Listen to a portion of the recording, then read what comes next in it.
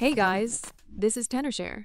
iOS 18 has been officially released, and I believe many people have already updated. After experiencing it for a while, I found that the new photo app on iOS 18 is really annoying, and I really hate it. So in today's video, I will share the problems I encountered. If you have the same trouble, drop that in the comment section. Also, I will share how I solved these problems.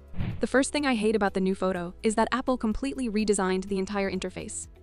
This is the photo app of iOS 17, and this is the latest iOS 18. You can see that the biggest difference is that on iOS 18, we no longer have the tabbed navigation at the bottom. Instead, we need to scroll down to find what we need. I think this is really inconvenient, and the whole interface looks messy. What I hate the most is the change in video playback. In the past, when we played videos, we had thumbnail previews on the scrub bar, which was really convenient, and we could quickly check the video through the previews. But on iOS 18, when we want to play a video, we can see that the screen is very small, and there are no thumbnail previews, only a small scrub bar. This is really inconvenient. If I want the video to fill the entire screen, I need to click on the video.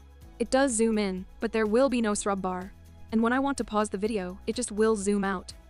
If I zoom in manually, although I can pause it and there is a scrub bar, you will find that the video is difficult to completely fill your screen. It's really overcomplicated and annoying to use. So I'm going to share what I did to make my photo app a little bit better. For the first question, we can customize the Photos interface. Just open your Photos app, scroll to the bottom, and you'll see the Customize and Reorder.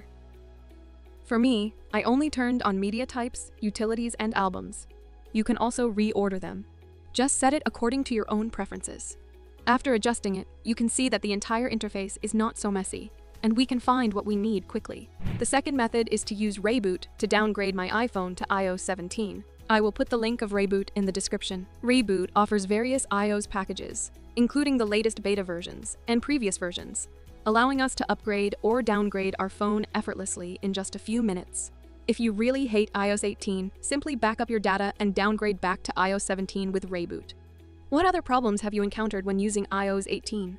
Leave that in the comments section. So that's all for today's video. Don't forget to like and subscribe. See you next time.